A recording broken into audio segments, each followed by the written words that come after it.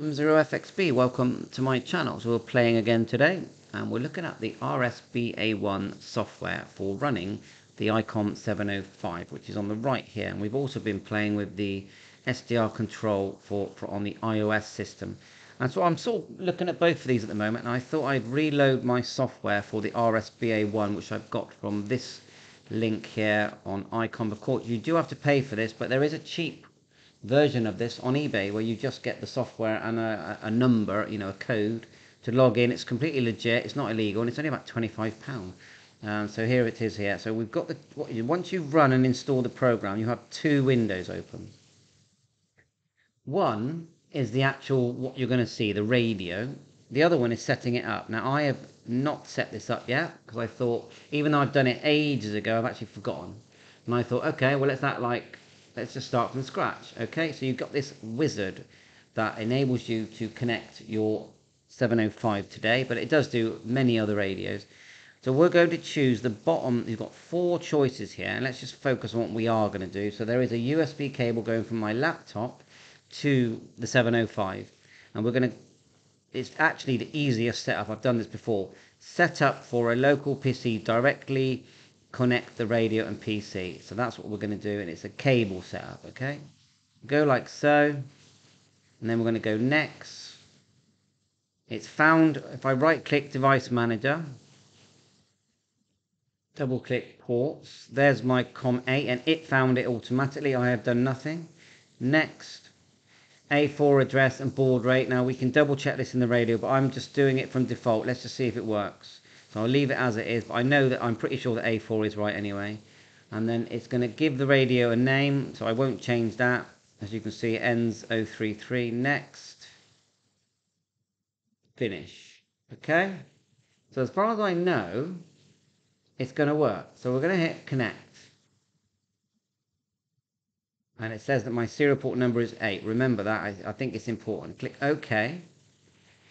So now we'll go here and we're going to turn on the radio and it says wrong port. Remember we said serial port number so we'll turn it off connect set and we're going to go to the 7 IC705 it says COM port there and our mode general dual I don't actually know what that means.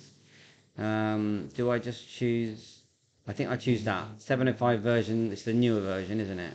Go like that. Connection is USB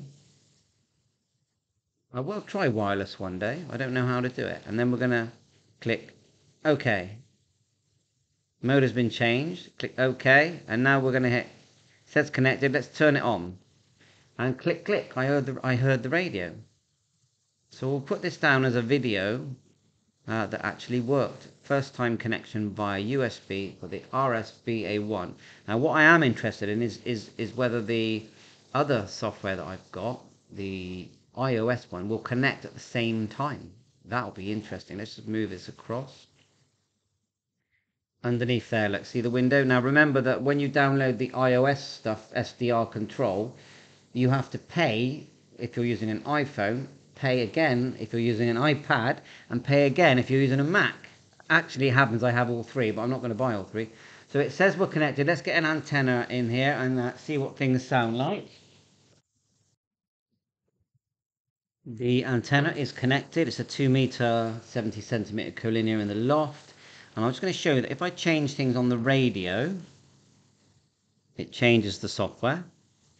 I do got, I do need to remember how you do the now to get the scope working. You do have to have a certain baud rate. So let's just turn on the scope. I actually can't remember how to turn the scope on, but that's good, more fun says scope here, you know, just here, but it's not giving me the option. I got a feeling that to do the scope, you have to have a certain baud rate. See the way it, it does turn the radio on and off?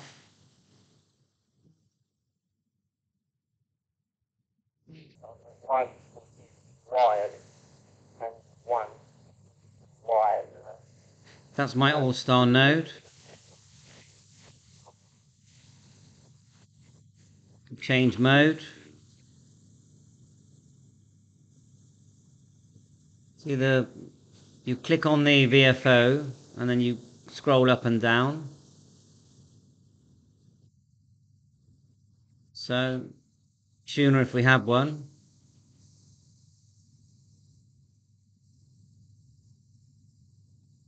Preamp, attenuator. There's a remote setting here.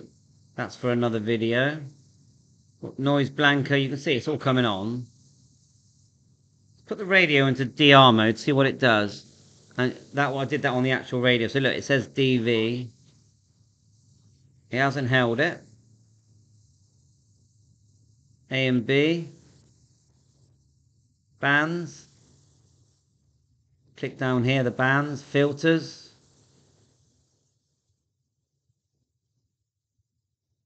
And you can click here, change the filters at the top here.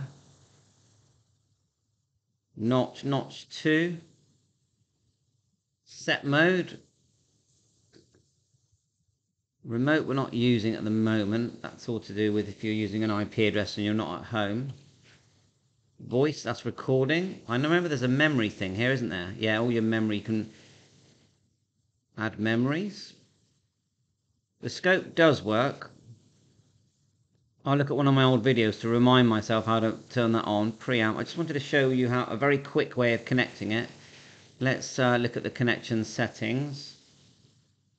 My memory is it's to do with the baud rate, but I think we have set it at 115. But have we set it on the radio at 115? Let's go menu, set. i got to remember where that would be. Tone, function probably. Baud rate.